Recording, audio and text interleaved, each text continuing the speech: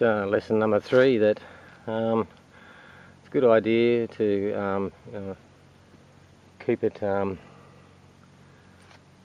uh, creative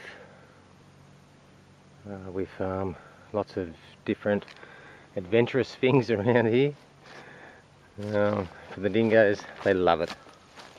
They absolutely love this here.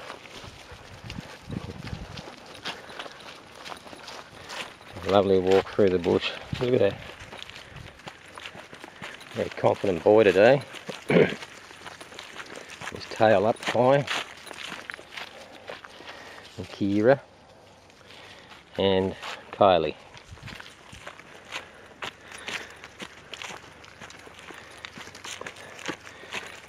Since the walk is for them, I'm happy to go most places they go, providing they understand that there's some places that we can't go, I can't go. So um, uh, at the end of the day, you've got to be in control. They love to have a jog.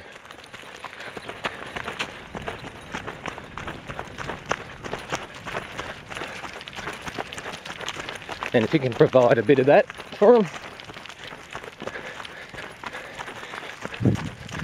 then it makes them happy during the day.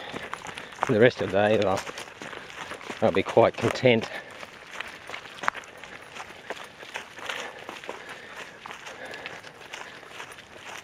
Dingoes, in particular, love to have a morning or afternoon run.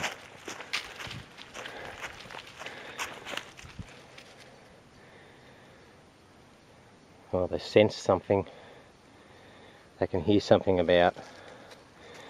So this is great. They love to have a bit of a get a feel for the what's around.